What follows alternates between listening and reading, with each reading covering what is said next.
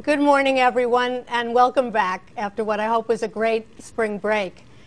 This lecture that I'm going to deliver this morning uh, has been an inspiration to students who have selected option three for their paper topic, how to design a Roman city, because this lecture has it all.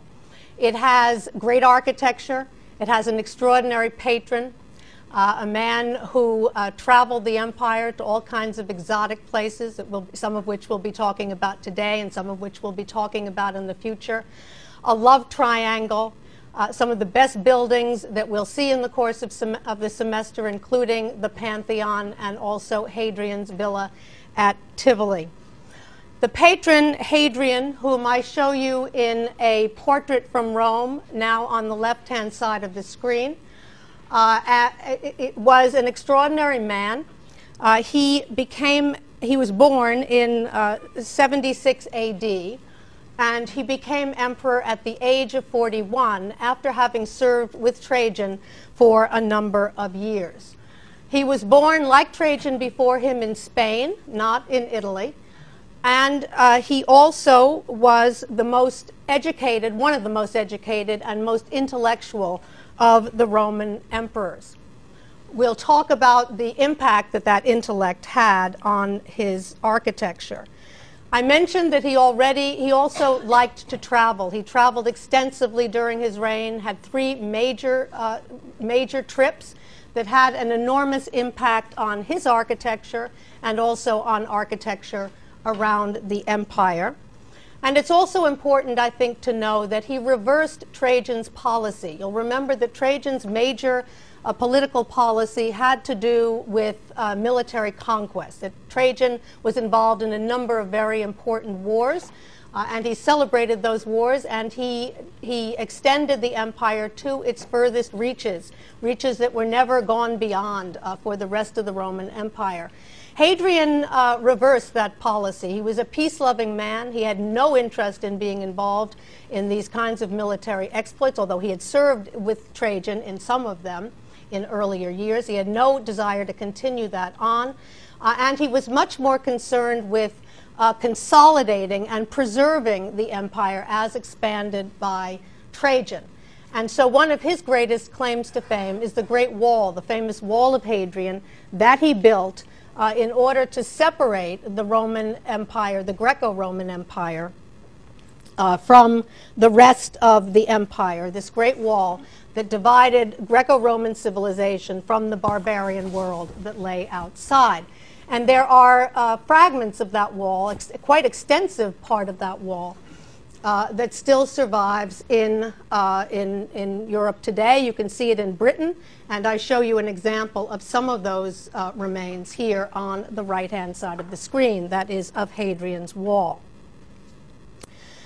Hadrian uh, was also a great Philhellene, and you notice in that portrait that I just showed you that he wore a beard.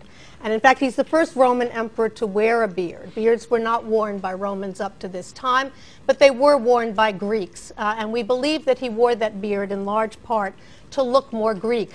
We also know that although he wore a toga in public, uh, he was known for wearing the Greek himation in private. Uh, and he did that, we think, in large part because of his uh, love for Greece and for Greek culture. He was so Philhellenic in his leanings that he received the nickname the Greekling. And we'll see as we look at his architecture the impact that his love of Greece had on that architecture. In fact, what I'd like to do today is to begin with the most Greek of Hadrian's buildings, a building that we think he may have designed himself because we also know that Hadrian was an amateur architect. Hadrian himself was an amateur architect. Uh, and we think he designed this very building, the so called Temple of Venus and Roma. He was also particularly interested, by the way, in religious architecture. Most of his public building was religious architecture, temples, this being one of them. The Temple of Venus in Roma, a temple put up to Roma as the patron goddess of the city of Rome, and to Venus as the patron goddess of the Roman family. And you'll remember uh, that Venus was a special favorite of Julius Caesar and of Augustus. Uh, that, and they, those two uh, thought of her as, their, as the special patron of the Julian family. so we also see Hadrian here uh, conjuring up, I think, his connections to uh, the earlier dictators and emperor uh, Julius Caesar and Augustus by his emphasis on Venus. So this temple to Venus in Roma, uh, you'll see that we don't have a precise date for this monument. We think it was put up sometime between 121 and 135. We know it was dedicated in 135. It seems to have been long in the making. So it's hard to, to categorize it as either an early or a mid or a late Hadrianic building because it does seem to have been in production for quite some time. I show you two plans of the Temple of Venus and Roma because there's controversy about which plan most uh, accurately reflects the original Hadrianic temple.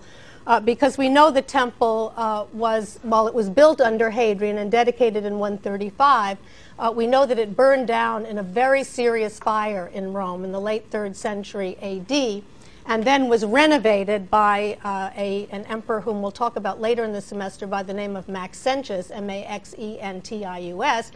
It was renovated by Maxentius in 307 AD. Uh, and uh, we think Maxentius kept quite closely to the original Hadrianic plan, uh, but we're not absolutely sure about that. So that some of the discrepancies that you see between these two plans may have to do with the discrepancies between the original building and uh, the eventual renovation. But uh, you will see that in the main, these two plans, and the one on the left-hand side of the screen is the one that's on your monument list that you have in front of you. The one on the right-hand side of the screen is the one in your Ward Perkins textbook. But if you look at its most outstanding features, you will see uh, that most of them are similar to one another, that the main features of these two buildings, uh, of these two plans, uh, are the same. Uh, and that is, and you should be immediately struck uh, by these plans, both of these plans, and how different they are from what we have characterized as the typical Roman temple.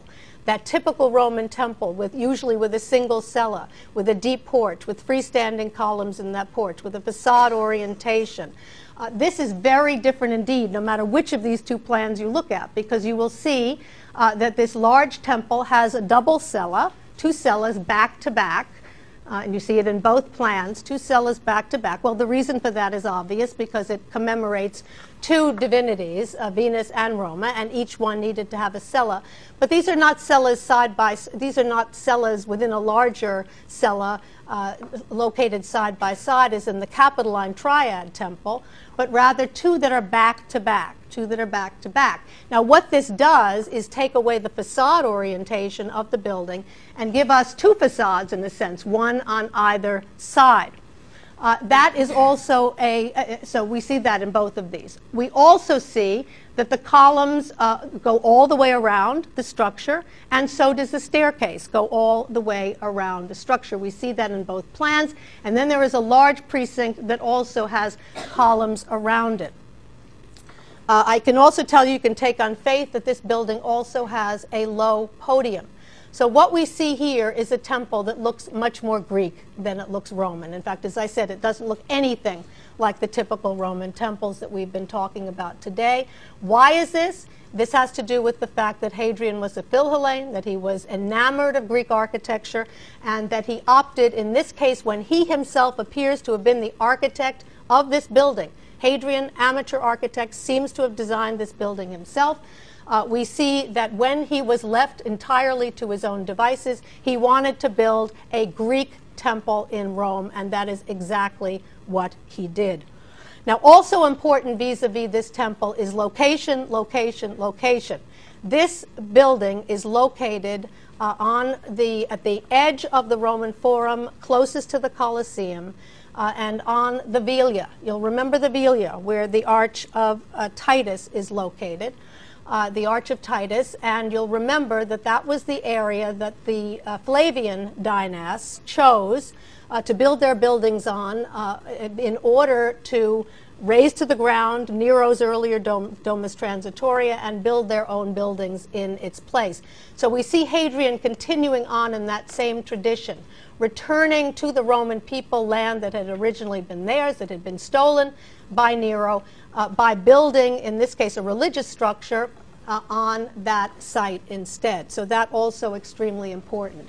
To get back for a moment to the plan, uh, we see again the major difference between these two versions is that in this case there is a flat back wall for each of the uh, individual cellas. For this one, a niche on either side, niches back to back, almost kissing, as you can see here. Uh, and then you can also see another difference is the walls are very elaborately scalloped.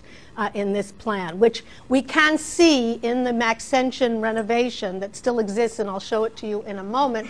Uh, but again, we're not sure if that was a Maxentian innovation in the early 4th century AD, those uh, back-to-back apses and scalloped walls, or whether they come from the original, Hadrian, or whether they re restore what was in the original Hadrianic building. I tend to prefer the one on the left because there is every evidence that we already have all of these features in Roman architecture. Think to the Flavian Palace on the Palatine, Domitian's Palace, uh, where we saw the scalloped walls in the Aula Regia, and where we certainly saw uh, these niches with vaults of heaven, uh, semi-dome, semi-vaults up above them. So everything was in place uh, to have that kind of structure, so it's certainly not inconceivable in the Hadrianic period. Here's a view of the Temple of Venus in Rome as it looks if you are standing atop the Colosseum and taking a picture back toward it. And this is very useful uh, because it shows you this is not a high podium. This is just uh, the, the difference in ground level once again, uh, ancient ground level being lower than modern ground level, and some of the, uh, the, the, the, the structures that lay below originally of Nero's uh, Domus Transitoria, for example, that this building was built on. Here you can actually see the podium of the temple, and you can see that it is very low uh, compared to what we're used to. We're looking back at one of those niches. You can see the semi-dome here, uh, as well as the relationship of it to the Arch of Titus which, and the Velia, which one again, once again points out the fact uh, that we are uh, dealing here with a building that was put on property that had originally uh, been the location of Nero's Domus Transitoria. Here are three very useful views, one showing that same niche closer up uh, from the taken from the Colosseum, one of those back-to-back niches as it looks today, and then this one over here, which is the other niche, uh, which is preserved inside uh, a later building that was transformed into a museum of the Forum Romanum at one point. We see it here, and you can see in both cases the semi-dome. You can see the concrete construction faced with brick. Uh, in this one, which is better preserved in large part because it was in, in, in, part indoors, we can see the columns on either side of the niche, and we also see that scalloped wall that I described before, just like the Aula Regia with niches uh, flanked by columns, and you can see the beginning of a coffered vault. We're not absolutely sure it was barrel vaulted, but we think the building was barrel vaulted. We also see on the left, I remind you of the octagonal room designed by Rabirius uh, for the um, Domitian's Palace on the Palatine uh, to underscore again the kinds of experiments that Rabirius was making that had such an impact, as we shall see today, on Hadrian and his own architectural designs. Uh, you'll remember that room. You'll remember that it has a segmented vault. Uh, you will remember that it's treated very much like sculpture that it has niches, that it has niches within niches, windows within niches, doorways within niches, all of them done in an asymmetrical way uh, that makes the design particularly interesting. Rabirius and his architecture very influential on Hadrian. Uh, keep in mind that Hadrian, once Domitian, I mentioned this to you when we talked about Domitian's palace, once Domitian built that palace, it was the palace that all the emperors from that time to the end of late antiquity lived in. Hadrian was no exception. When he was in Rome, he lived in that palace uh, and he was therefore seeing and experiencing uh, the shapes of the architectural shapes designed by Rabirius on a daily basis. He liked that octagonal room in particular, uh, and the others like it in the villa, in the palace, and he was clearly it clearly had an impact on him, as we shall see. The last point I want to make about the Temple of Venus in Roma, by the way, has to do with materials. We have been talking about the increasing use of marble in Roman architecture. Under Augustus, marble from Luna or Carrara. Under Nero and the Flavians, marble from all over the world, from Asia Minor, from Africa, of all different colors. Hadrian, the Philhellene, returns to using Greek marble uh, for his buildings. And the Temple of Venus in Roma uh, is made of Proconnesian marble, P R O C O N N E S I A N, I think I got that right, Proconnesian marble uh, that, um, that comes from Greece. It's a blue veined marble. He was particularly fond of it, and he used it uh, for the Temple of Venus and Roma. I want to turn from the Temple of Venus in Roma to the much more famous temple that Hadrian constructed. If the Temple of Venus to, and Roma was to two gods, Venus and Roma, uh, the Hadrian, Hadrian's pantheon was to all the gods, which is what pantheon means, to all the gods, a temple to all the gods. Uh, that he built in Rome between 118 and 128 AD. You see a Google Earth image of it here uh, the Pantheon surrounded by, uh, the, by modern structures. It is one of the greatest masterpieces of architecture of all times. Uh, in fact, if you were to ask a group of architectural experts to get, make a list of their 10 the, of the 10 greatest buildings ever built, it's hard for me to believe that not every one of them would at least list somewhere in that list of 10 the Pantheon, not only because it's a great building in its own right, but because it has had such a, an enormous impact on uh, architecture in Roman times, as we'll see in later lectures, but also on architecture in post-antique times, an extraordinarily influential building. And there are some, and I would be one of them, maybe I'd be the only one, I hope not, uh, who would list the Pantheon as the greatest building ever built by man or woman of any time in any place. Uh, and you can see as we look at it together today whether you think I come close or I'm way off the mark on that. But I believe vehemently uh, that it was the greatest building ever built. And it remains an extraordinary structure to see and to experience. You see it here. Oh, and by the way, although I mentioned that Hadrian was an amateur architect, uh, we don't know the name of the architect for the Pantheon. Do I think it was Hadrian? Absolutely not. Hadrian was not this good. He was an amateur architect, not a professional architect. This is an extraordinary work of art. He may have had some input, he undoubtedly did, uh, because we're going to see that the Pantheon is at the same time complex and simple. Uh, it's also traditional and innovative, and what we're going to see Hadrian and his architect doing here and also doing at the villa at Tivoli is combining in an extraordinary way traditional Roman and innovative Roman architecture, concrete construction, and the original vocabulary of Greek architecture, namely columns combined in the same place. And he was highly influenced in this regard by his predecessor, Trajan. Think of the markets and forum of Trajan, the way in which we had combined in the same complex a traditional forum and a very innovative marketplace. We're going to see the same thing in the Pantheon. We're going to see the same thing at Hadrian's villa at Tivoli. So Trajan exerting, uh, Trajan and Apollodorus of Damascus uh, exerting a very strong influence, as did Rabirius, on uh, the architecture of Hadrian. Uh, again, this, this uh, Google Earth image is useful because it shows us the building in its modern environment. Uh, but it's important to keep in mind that the uh, Pantheon in Rome uh, was part of a complex in antiquity, as most temples were, temples that were in sanctuaries, temples that were in fora.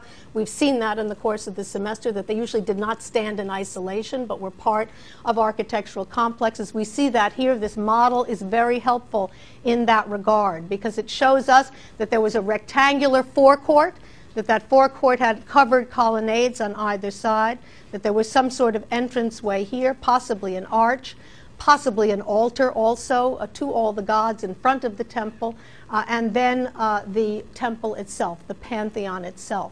Now, this model is also very useful in the sense that it gives you uh, an idea of what you actually would have seen if you had walked into uh, this complex, into this open rectangular space uh, and walked toward the, the Pantheon, what would you actually have seen? Well, all that you would have actually seen was the porch. The porch, which had an attic behind it, which screened uh, the cylindrical drum and the dome from the viewer. So if you were standing here, all you would have seen was this porch.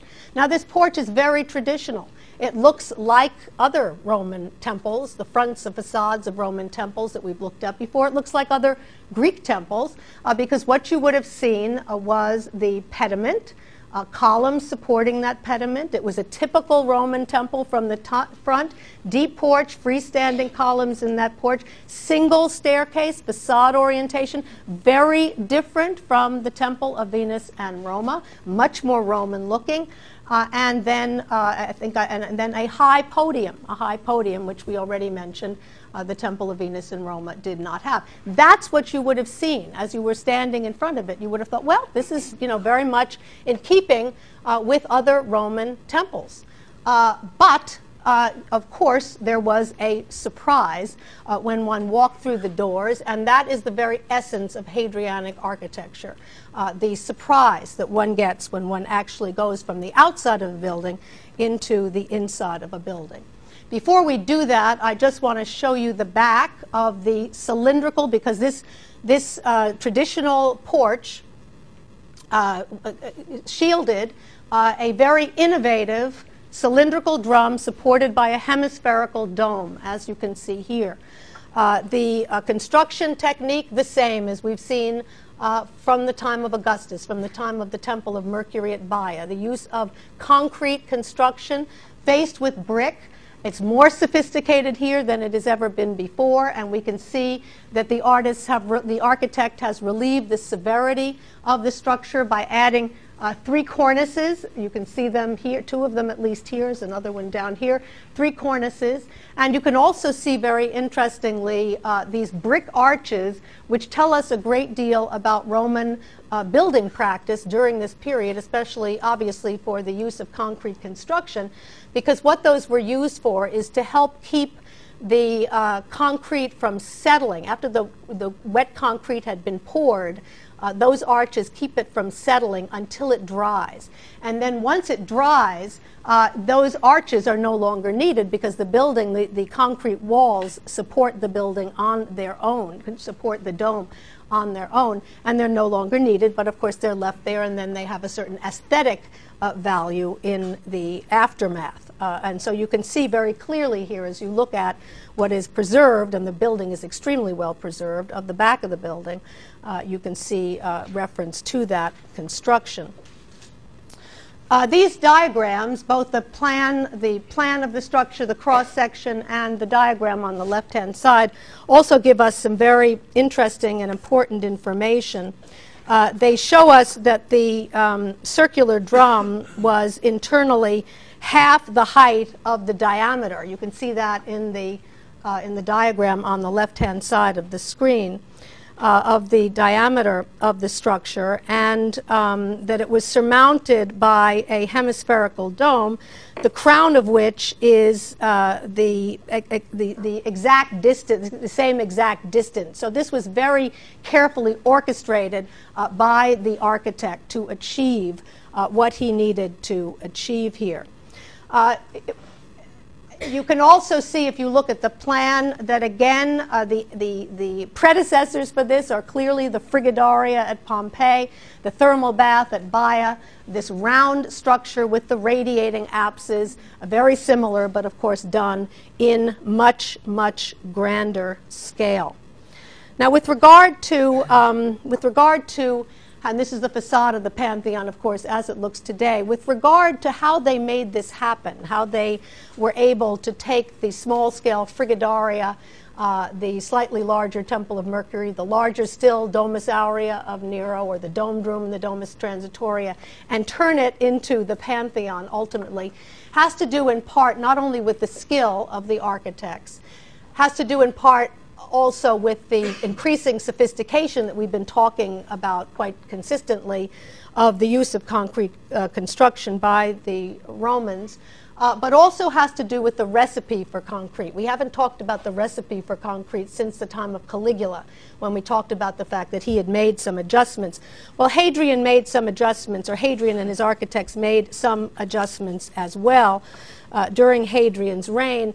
Uh, and what they did was they, two things, they decreased the um, thickness, they decreased the thickness of the walls uh, from bottom to top Uh, and they also did what Caligula had done before, but did it even, even more so by uh, mixing, using as an aggregate at the base of the dome. They used um, heavy, heavy stone, a basalt, a very heavy, thick basalt. But when they got toward the top, they mixed, or the idea was when they got toward the top, they would mix in as an aggregate uh, a porous pumice, which was much, much lighter. And that's essentially how they achieved um, their goals. Now, before I talk about the exterior of the structure and, and take you through the building, I want to mention one very interesting exchange between Hadrian and Trajan's architect Apollodorus of Damascus. You'll remember that I said that the Temple of Venus in Roma, we think, was designed by Hadrian himself. And at one point, Hadrian, Apollodorus was still alive, and at one point, and highly respected, and at one point, Hadrian went to Apollodorus to ask him for his thoughts on the designs that Hadrian was doing for the plans that Hadrian was doing for the Temple of Venus in Roma, which tells us, you wondered where I got, where I, how we know that Hadrian was an amateur architect.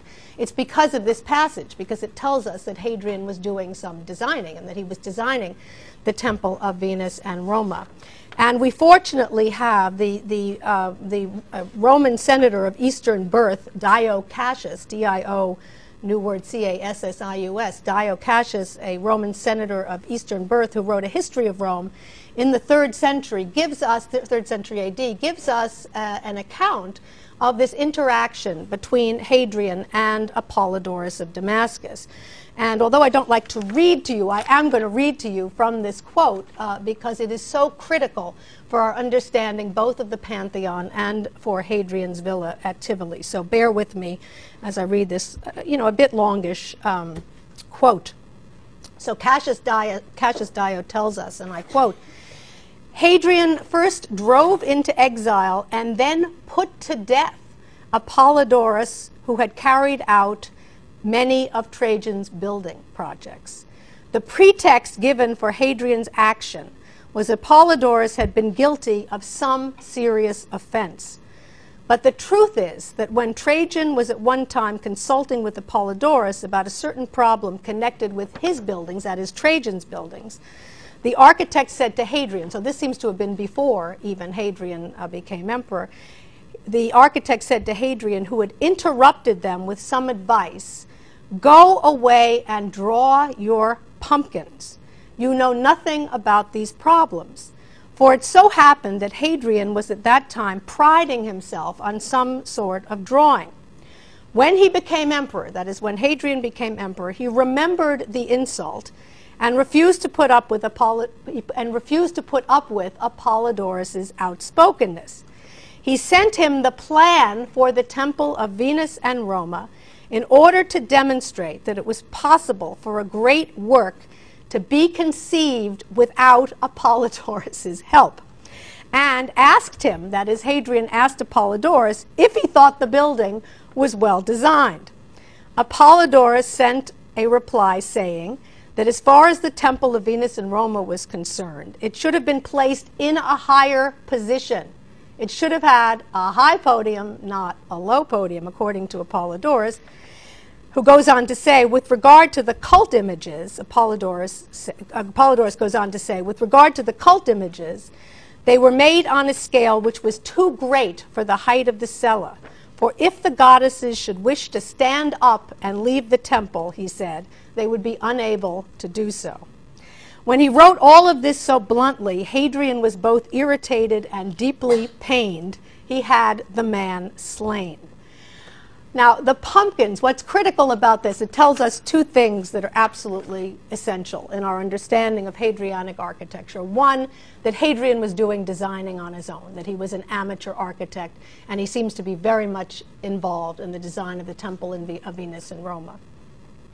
It also tells us that Hadrian was making some drawings uh, of pumpkin domes. What are pumpkin domes? Well, pu pumpkin domes are, domes are undoubtedly segmented domes. They are just the kind of dome that Rabirius did for the uh, octagonal rooms in the Palatine Palace, rooms that Hadrian was exposed to by living in that palace himself, obviously fond of them, liked them, uh, started to draw his own pumpkins, and we're going to see that, that those pumpkins, well, we don't have a pumpkin dome in the Pantheon, as we'll see, probably fortunately.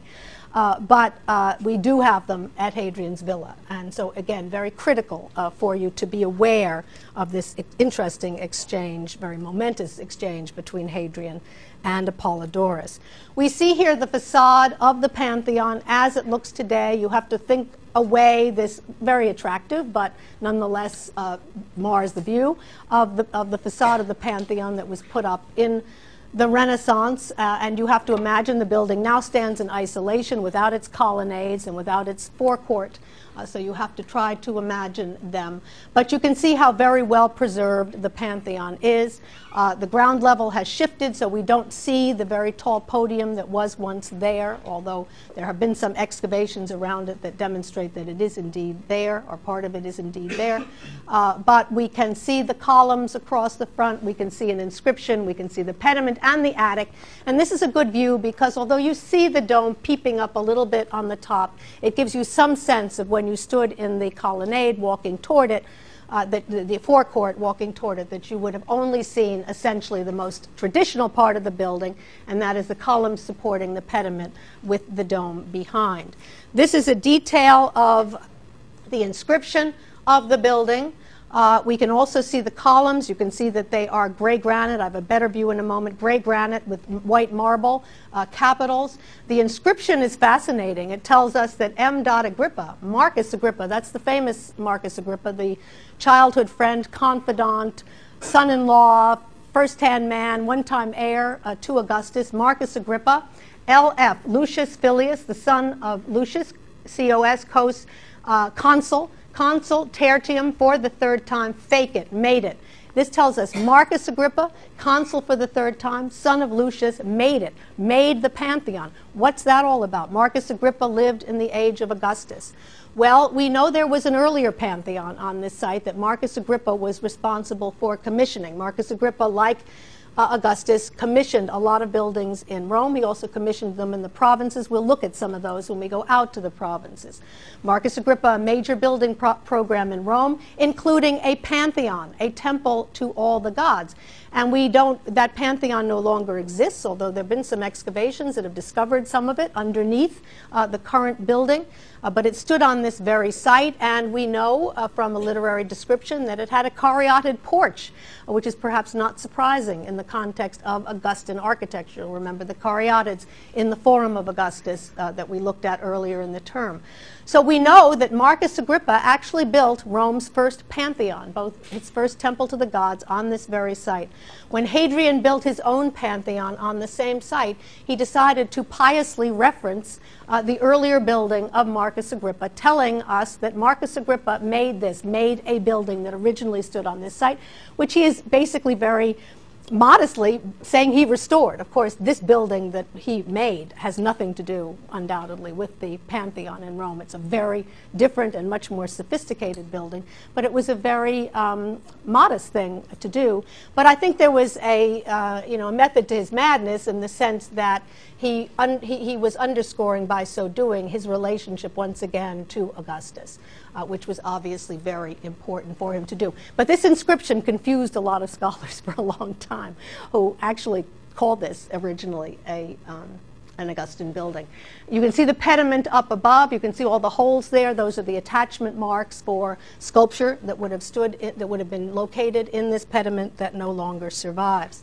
Here's another view showing the gray, the light gray granite columns, the white Corinthian capitals, all of these magnificently carved, very high quality artists, uh, architects and artisans here. By the way, I forgot to mention when we talked about the Temple of Venus in Rome and the use of Greek marble, that Hadrian not only uh, brought in Greek marble, but he brought in Greek marble cutters, marble carvers, uh, who were responsible for working on these. So he wanted the very best, those who were most familiar with carving Greek marble, uh, to be used for his buildings, and they were undoubtedly used for this one as well.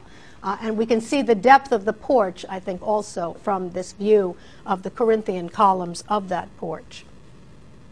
It's very hard in a classroom in New Haven, even with outstanding slides, uh, to be able to give you a sense of the experience that one has, of the surprise that one has as one walks through the door of the Pantheon. Uh, we see uh, the doors opened here. They are bronze doors. They are original door doors uh, from this extremely well preserved structure. And the reason that it is so well preserved is because, like other buildings in Rome, it was reused in later times as a church primarily uh, with a wonderful name, Santa Maria Rotunda, Saint Mary, the Rotund Mary, essentially, uh, which is perfectly uh, perfectly chosen uh, for a building with a giant rotunda with a great cylindrical drum uh, that the building has. Uh, we see those doors opened up here, and as one walks through this very traditional porch through the original bronze doors into the interior, uh, one is, is, struck by the extraordinary nature of the interior of the Pantheon, which you see over here. And all you're looking at here is the uppermost part uh, with, the, uh, with the dome, essentially, because, and the reason is because it is near, the, even the human eye, both eyes, can't take in uh, the, the extent of this interior all in one glance. And even if one uses the widest of wide le angle lenses, uh, you get a tremendous amount of distortion uh, and you can't really take the whole thing in at once, which is, what makes it extraordinary. And one has to rely instead on uh, this painting by Panini that shows you the grandeur beneath the dome, that gives you a better idea than any image I can show you, however professional, of what the interior of the Pantheon actually looks like. Uh, and you can see in this Panini painting uh, the wonderful marble revetment, the marble floor, uh, the, uh, the, the dome uh, with its coffers. There are um, uh, one, two, three, four, five, five rows, yeah, five rows of 28 coffers each, 140 coffers in all. Uh, they were likely gilded in antiquity. You see that there is an oculus through which light streams uh, down onto that gilding, down onto the marble incrustation. The marble incrustation, by the way, extremely well preserved. This is about our best example of ancient Roman marble. Not all of it is ancient, but a good portion of it is, and it gives you a very good sense of what some of these marble uh, buildings would have looked like in antiquity. And I show you a detail of some of the original marble revetment over here. And this is what those Pompeians wished their walls actually were uh, beautiful marbles of all different colors brought from all different parts of the world. So even though Hadrian chose Proconnesian marble for his Temple of Venus in Rome, his Greek building, which we really need to think of as a kind of Greek import, uh, for this more Roman building, he is following in the footsteps of Nero and the Flavians and using multicolored marble both for the revetment on the wall and the marble pavement down below. Uh, most of this building, again, it's very well preserved, uh, is its original, is the original structure, the original columns, the original pilasters, uh, still extremely well preserved in the Pantheon. Uh, because it was used over time as a church, there are lots of accoutrements uh, that one would expect uh, in a church, uh, various saints and niches and so on and so forth. So much of the sculpture uh, is, is, is from the, a later period.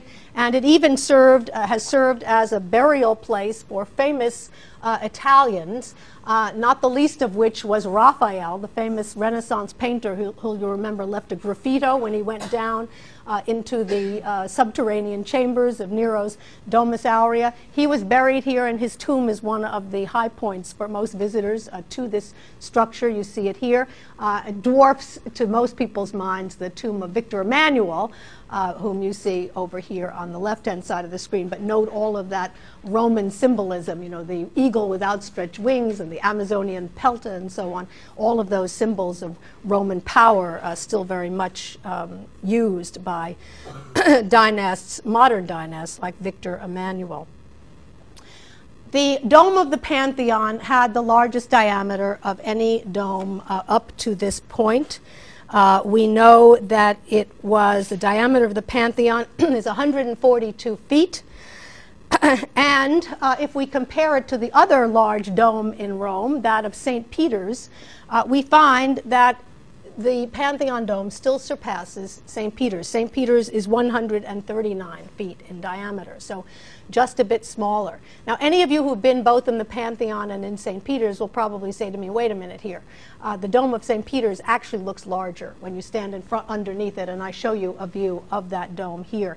The reason it does look a bit larger is the Dome of St. Peter's is taller.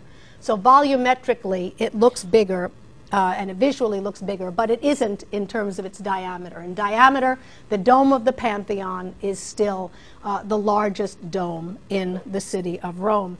And as you look at this dome and compare it to St. Peter's, one can't help but think, and think back to uh, Domitian and his Dominus et Deus and his vaults and so on and so forth, the whole idea of being uh, having the dome of heaven over one's head. I think one can't help but uh, think when one looks at this that uh, there may be some reference here both to the orb of the earth and to the dome of heaven, and it is certainly uh, a, um, a appropriate symbol for a, a building that honors all the gods.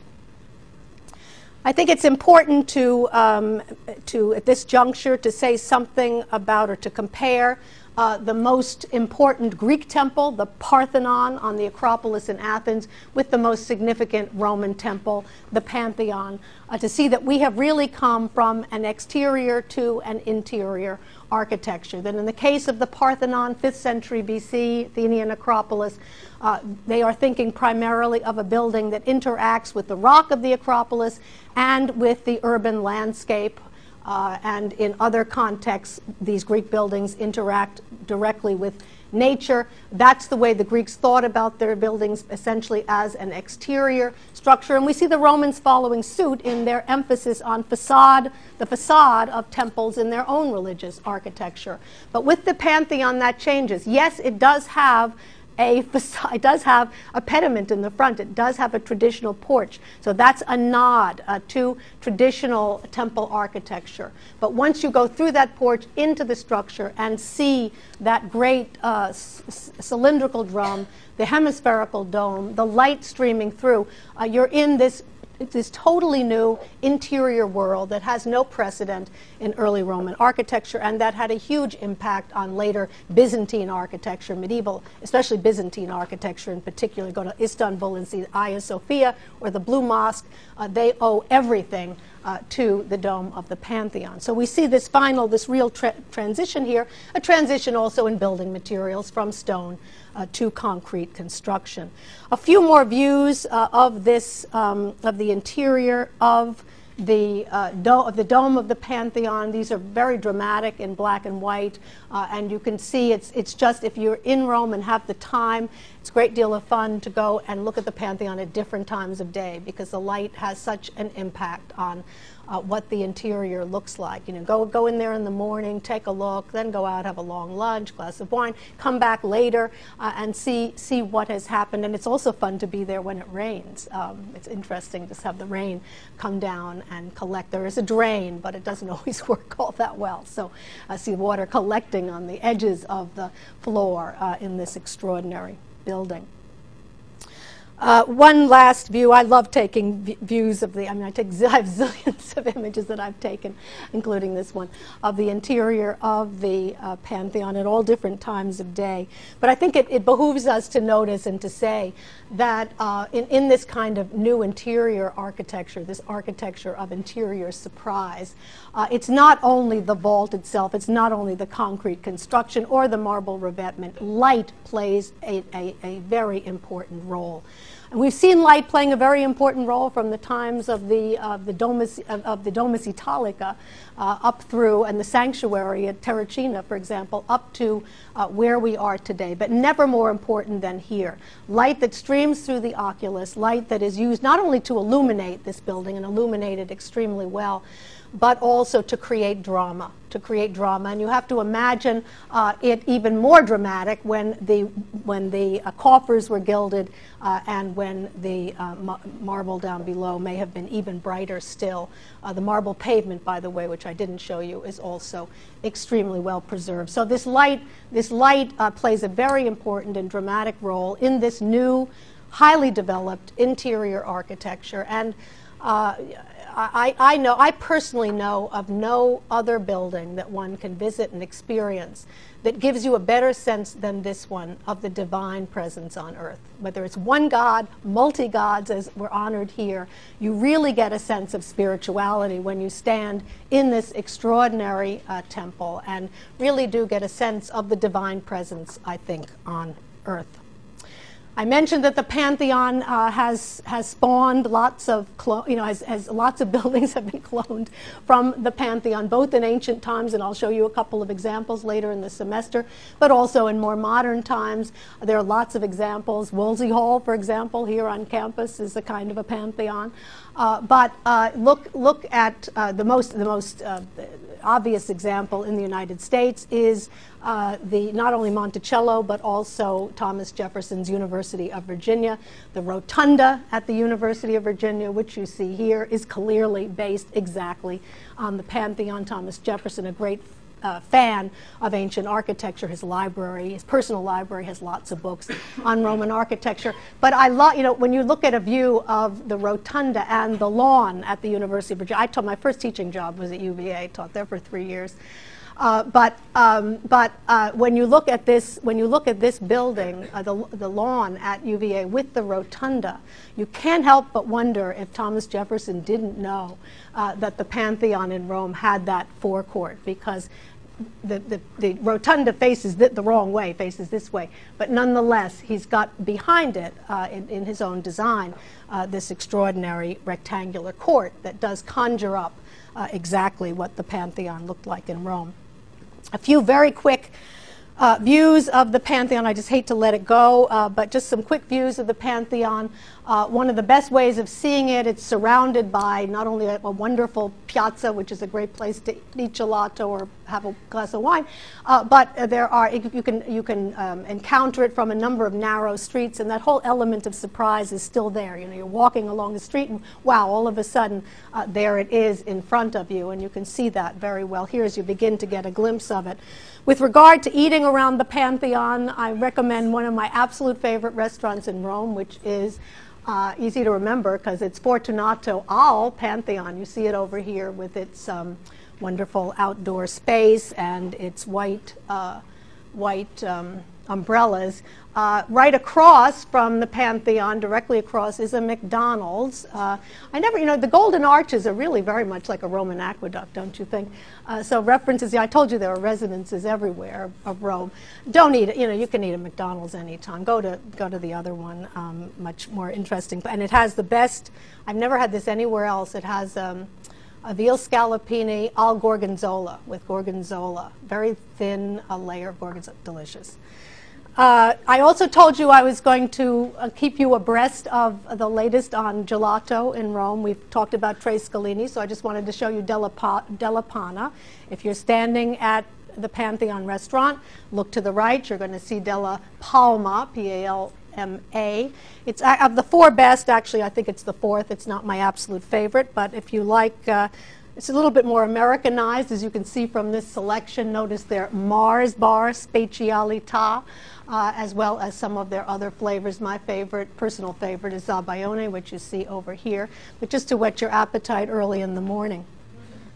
I want to move in the, in the um, 20 minutes or so that remain. I would like to move uh, from the Pantheon in Rome to Hadrian's home. Not his home in Rome, which, as we've mentioned, was the uh, Palace of Domitian on the Palatine Hill, but his Rome at Tivoli, his, uh, his villa at Tivoli. Tivoli, ancient Tibur, we talked about Tivoli many times before, where the marble, the uh, travertine quarries are located. Tiv Tivoli is about a, well, I don't know, 40 minute drive from Rome today, kind of high speed drive from Rome today. Uh, but in antiquity longer, obviously, but not inaccessible from Rome. It was Hadrian obviously had no problems getting there in ancient Roman times. It's an extraordinary place, uh, and Hadrian, it was, a, it was a place that Hadrian used as a kind of incubator for his architectural ideas. And it's highly likely that many of the, of the, of the buildings that we see there were designed in part by him, especially those famous pumpkin domes, because we're going to see that a number of these buildings do indeed have pumpkin domes designed under the influence of the architecture of Rabirius. It's an amazing villa. It is the most extensive villa preserved from the Roman world and likely the most grand of all the Roman villas. And if we think back to Nero's palace in Rome, what made Nero's palace in Rome so scandalous uh, was the fact that it was located in downtown Rome. Uh, but if you compare Nero's palace uh, to, to Hadrian's uh, villa at Tivoli, there's no comparison between the two. Hadrian's villa at Tivoli is much more extensive. It has much more extraordinary buildings from the architectural standpoint.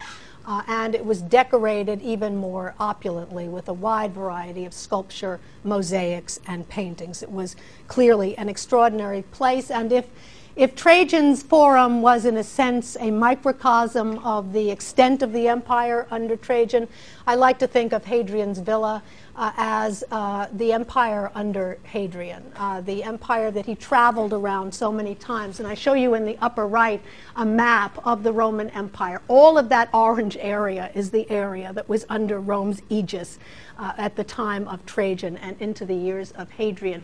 And if you look closely, you will see three colored lines a yellow, a blue, and a red line. Those are Hadrian's travels around the empire, and it shows you how extensive they were. He went everywhere. Why? Because he loved to travel. He just loved to travel. Uh, but he also went in order to take a look at uh, provincial affairs at first hand. Now, everywhere he went, he either he himself paid for buildings that were erected, or more often than that, uh, buildings were put up by local uh, local magistrates and so on, local cities, uh, in honor of Hadrian, uh, in order to try to get a favor out of him or just to honor him on his visit. Some of these were rushed, you know, put up in, in a rush job in order to uh, be there when he arrived on the scene. So we see this incredible array of building activity uh, during this period. And we will see that reflected as we make our way, um, beginning already next week, make our way into the provinces. We will begin to see some very interesting Hadrianic buildings in those provinces that reflect uh, what he was doing elsewhere or in Rome. But what we see here, what we see at the villa, is fascinating because all of us were just back from break. Some of you did some traveling. We know that traveling expands all of our horizons. We go someplace experientially, we're different than we were before by what we see and what we experience. And we also, uh, maybe not in this new economic climate, but at least in the past, we all tended to pick up souvenirs, you know, t-shirt here and a whatever there, handbag there. Uh, and, um, and we bring those back uh, to remind us, give, remind us to make us, you know, have memories of, of the wonderful trip that we took. Well, Hadrian did that as well. He collected souvenirs. But because of his own wealth and because he had the imperial treasury behind him, he could, he could collect buildings as souvenirs, essentially. So when Hadrian traveled and saw what he liked, what he did was he came back uh, to this laboratory, this architectural laboratory that he had at Tivoli, uh, and he either created, some of these were probably designed by him, others by his architects. He created a series of buildings uh, that were, in a sense, souvenirs of his travels, either exact duplicates of things he saw or variations on those themes. And it makes these buildings particularly fascinating to look at. The, uh, the, the Villa of Hadrian was, uh, had three, three, essentially three building phases, an early, a middle, and a late. Uh, they span the entire, uh, entire um, reign of Hadrian. Uh, this, this villa was clearly Hadrian's hobby as well as his home, and if he hadn't died in 138, he would have undoubtedly continued to build here. So these buildings go up throughout the course of Hadrian's reign. I show you a view from the air of the villa as it looks today. You can see uh, that there are a series of very attractive pools of water interspersed with architecture. Uh, if we look at a plan of the villa, you will see that it is different than any other villa we've seen before in that uh, these buildings are actually kind of casually, almost in an ad hoc way, arranged around nature to interact with nature. We don't see the axiality and the symmetry that is so characteristic of so much of Roman architecture. They kind of meander along, as you might expect architectural experiments to, man, to meander. And it has everything there, not only pools, but a wide variety of buildings that I'm going to show you fairly fleetingly. Uh, this great island villa over here, uh, the Piazza d'Oro, d'Oro or the Golden Plaza, uh, the, um, the, two sets of baths, a large bath and a small bath. You also see a stadium here, hairpin shaped, that I'm not going to return to. The Canopus, another pool. This was so complete that it even had its own Hades, its own hell, uh, in the villa. Everything was here. Hadrian left no stone unturned. I want to show you in fairly quick succession examples of the most interesting buildings of these uh, tourist souvenirs that Hadrian brings back from his travels. The first I'd like to show you is the so-called Temple of Venus, which belongs to the latest building phase at the villa, 133 to 138. This is Hadrian the Philhellene once again, just as we saw him at the Temple of Venus and Roma. He goes to the Greek island of Knidos, K N I D O S, the Greek island of Knidos, on which there was the most famous round temple of Venus, with the most famous Greek statue of Venus, uh, a statue by the great Greek sculptor Praxiteles. Lots of people went to see it, and interestingly enough, it was this, uh, this um, temple and the statue uh, excavated a number of decades ago by a woman, a female archaeologist with the perfect name Iris Love, for the goddess of love. And that was really her name, destined uh, to go excavate uh, the, uh, the uh, temple of the goddess of love on the Greek island of Knidos. Hadrian goes there, he's enraptured by what he sees. He builds at his villa an exact replica, an exact replica of this Greek round temple. Uh, you can see it's the Doric order. You can see it supports triglyphs and metopes. And then in the center, uh, a statue of Venus, unfortunately now headless and armless. Uh, that's a cast. The original is in the museum on the site. You see it uh, in the museum on the site over here, uh, based on Praxiteles' earlier uh, statue. There are lots of copies of this famous Praxitelean statue. We see another one here in the Vatican uh, that's more complete, gives you a better sense of what it looked like. But again, here are the Doric columns and the triglyphs and metopes. So the most important point for you, an exact replica in this particular case. The most extraordinary of these uh, sort of architectural conceits, these giant uh, tourist souvenirs that Hadrian brings back from his travels to his villa at Tivoli, is the so-called canopus at Hadrian's villa, my personal favorite, the canopus at Hadrian's villa, which you see on your monument list, also dating to the latest period, 133 to 138 AD.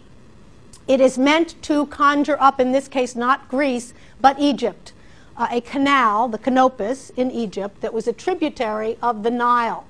Uh, and we know that you could travel from Alexandria to a small town called Canopus by means of this canal, and that is what is meant to be conjured up here. The city of Canopus had in it a uh, temple to the Egyptian god Serapis, S E R A P I S, Serapis, who was the healing god. And people came from all around the world to be healed at the temple of Serapis. It was also well known uh, as a place with a wonderful amusement park. Uh, and we think that although Hadrian seems to have gone there uh, in part to go to the sanctuary of Serapis. He also appears uh, to have gone there because it was also an amusement park. And this is where we get into the personal love triangle of Hadrian. Hadrian was married uh, to a woman by the name of Sabina, a very beautiful woman, but she does look kind of dour uh, in this uh, portrait on the right hand side of the screen. So perhaps we don't blame him uh, for taking up with what must have been the most beautiful boy in all of antiquity a youth by the name of Antinous, A N T I N O U S. Antinous, whom Hadrian met on his travels in Asia Minor, smitten with the boy, uh, and they became constant companions thereafter. Uh, but unfortunately, Antinous, while still very young, died by drowning where else but the Nile in Egypt, also on these travels. They, they went to Canopus together, by the way, to the amusement park. Uh, but poor Antinous died by drowning in the Nile. No one knows exactly what happened. Was it an accident? Some say that he may have given his life to save Hadrian's. We don't really know. That's never been sorted out as to exactly what happened to this, love, this, this wonderful and beautiful young man. Um, but he died by drowning in the Nile, which made the Nile a particularly poignant spot uh, for Hadrian, who appears to have recreated it here at his villa. He also went on to found, this is one of the reasons this has inspired so many design your own Roman cities project, not only the relationship between Hadrian and Antinous and this love triangle with Sabina, uh, but also because Hadrian went around the empire and founded one Antinopolis after another. There were tons of Ant Antinopolises uh, all around Rome, and he put up statues of Antinous in every possible guise of every possible god, the major Roman gods and some of and, and all the minor uh, Roman gods as well. And there are lots of statues of Antinous. This is another one that was found at the villa, not at this pool, although, the, although it might have been, given that the inspiration was Egypt. Uh, this shows him in Egyptian guise with the Egyptian headdress uh, and uh, covered, covering all that wonderful curly hair uh, for which he was so well known, uh, but nonetheless Antinous as a pharaoh uh, from Hadrian's villa. Back to the canopus, you see the pool, you see it has columns on one side. These columns are, had uh, sculpture interspersed, and here Greece comes back to the fore because many of these statues here were also based on ancient Greek prototypes. So we see uh, this interesting um, eclecticism here, a pool based on Egypt with some Egyptianizing statuary, but also interspersed with Greek statues based on famous Greek prototypes. Most important to us from the architectural standpoint, the straight lintel and the arcuated lintel used here for the canopus. We saw that in second style Roman wall painting. We're beginning to see it now in built architecture. It becomes a particular favorite of Hadrian's, uh, and we're going to see it elsewhere in the Roman provinces under Hadrian. Uh, the influence again of Egypt and also in this case also of Rome. Two river gods that seem to have decorated the canopus. Uh, this one leaning on a figure of a sphinx, so this is clearly the Nile River. This one leaning on uh, the she-wolf suckling Romulus and Remus, clearly the Tiber. So once again, very eclectic sculptural program. The caryatids were there too, lining one side of the pool of the Canopus. You see them over here now in the museum. Extremely well preserved based on the original 5th century BC caryatids on the Acropolis. So Hadrian's Philhellenism coming to the fore again. You'll remember Augustus copied these same caryatids for his forum, reduced scale. Hadrian's are in full length, full scale, same scale as those in Greece. And the major difference between Hadrian's caryatids and Augustus's, Augustus's, like the Erechtheion, where the original Porch of the Maidens in, is in a public building, in the case of Hadrian, a private villa, using these caryatids at a private villa. Here you see them lining one side of the canopus, flanked on either side by satyrs, the same kinds of fellows we saw in the Dionysiac mystery paintings. And then, just so that we don't forget Egypt, uh, this wonderful uh, representation of a statue of a, of a crocodile uh, that was surely placed in the center of the pool, peeping out uh, of the water, just so that we make sure we remember it's the Nile.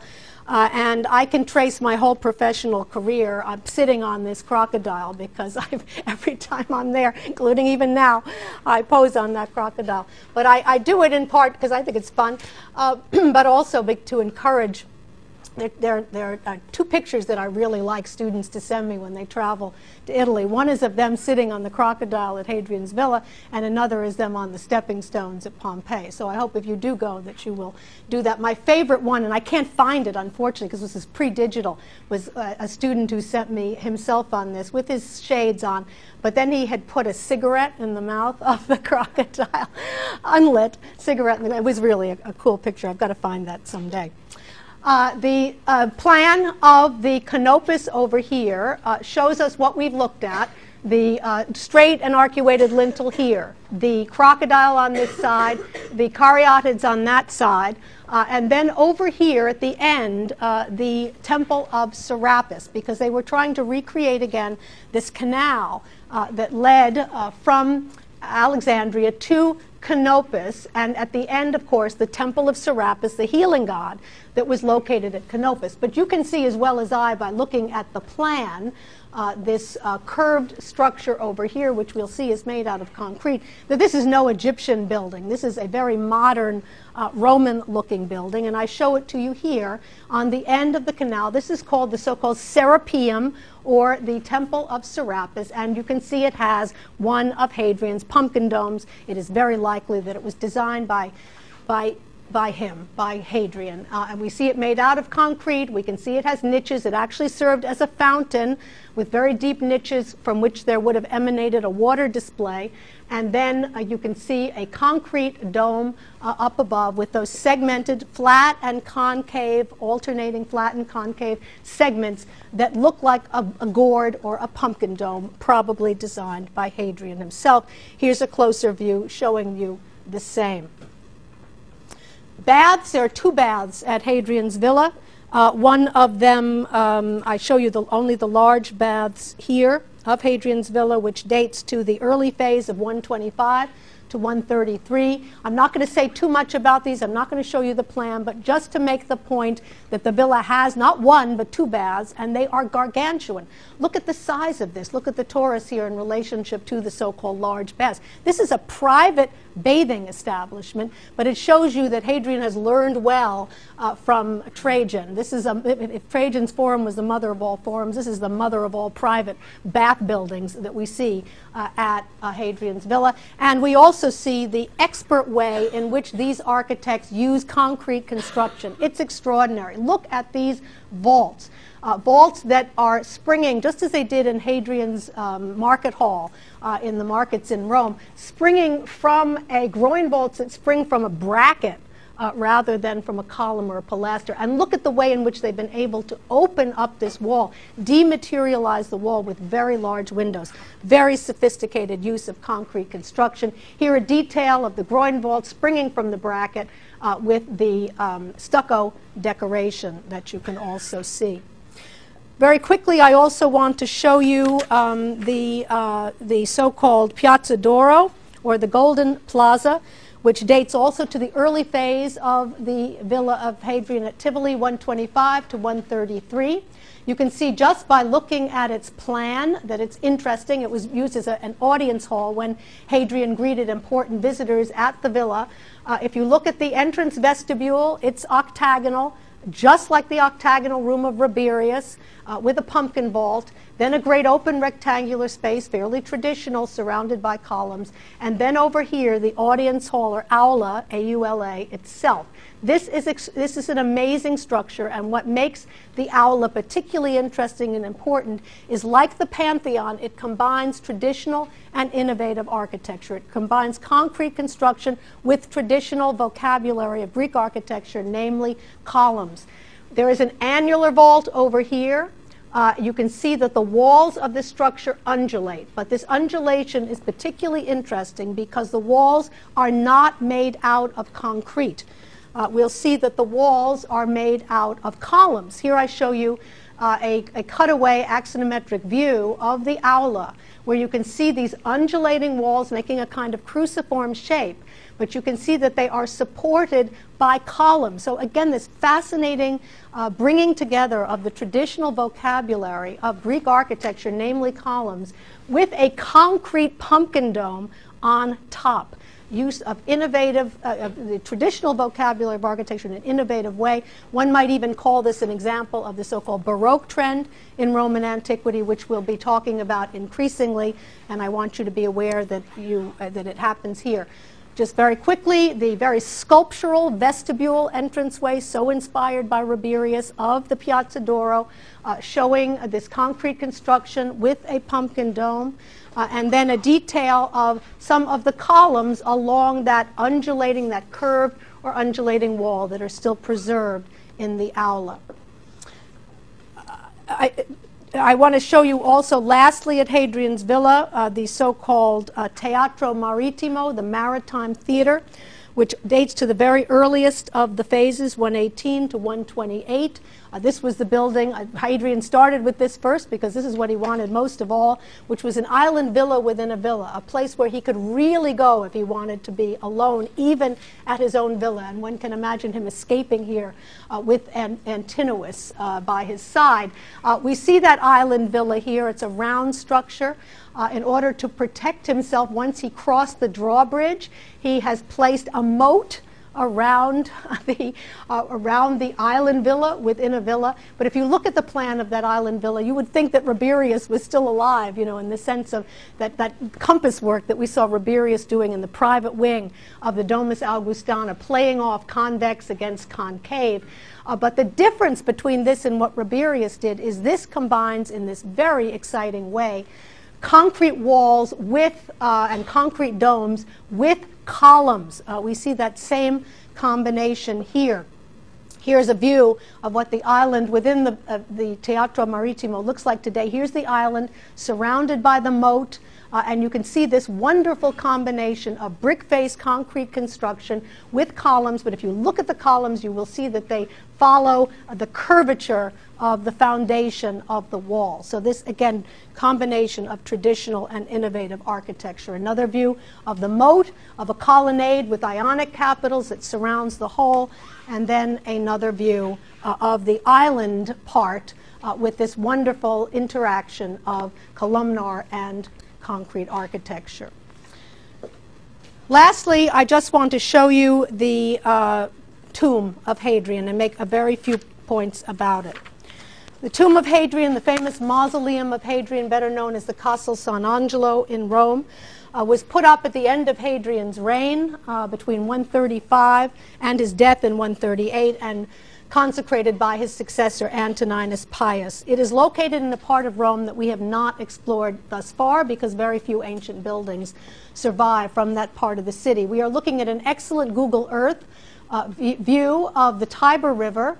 You will notice uh, the uh, Piazza Navona over here, the great stadium over here, and we should be able to see the Pantheon, but it may be cut off, as is uh, the, um, in this view, as is the uh, tomb of, of Augustus, which is located over here. But we can see well the Castel Sant'Angelo of um, Hadrian's mausoleum, fronted by a bridge over the Tiber, and that's the Vatican, Vatican City, up right above. So Hadrian chose a location across the Tiber where there were some imperial gardens for his tomb. Here you can better see, also Google Earth, a view of the Castel Sant'Angelo as it looks today. The walls and the watchtowers were added later because this served as a fortress for the popes uh, when the in the Vatican, the popes uh, in bad times, they had an underground passageway that they could scurry uh, from the Vatican to this fortress where they could be protected. And that's when the uh, watchtowers and so on were added, as you can see here. Fronted by a bridge, this is the famous Ponte Sant'Angelo, uh, designed by Bernini, the great 17th century architect Bernini, with a series of angels. And here, another view of the Castel Sant'Angelo with Bernini's uh, angels on the bridge. The most important point for us is you can see that although uh, tombs, round tombs were no longer au courant in the second century AD. They had gone out of fashion. Remember, Titus buried in his arch, Trajan buried in his column. They really weren't doing round tombs at the, the extent that they had been doing earlier. Hadrian chooses this. Why? Because the great mausoleum of Augustus was a round tomb. He wants to associate himself with Augustus, and he wants to create a new tomb for a succession of dynasties. Nerva was the last to be buried in the mausoleum of Augustus. Hadrian, the first in this mausoleum, which became, be, continued to be used in the second century. And so it uses the um, mausoleum of Augustus and the Cecilia Metella tomb as models. We see in this model here of the tomb of, of Hadrian.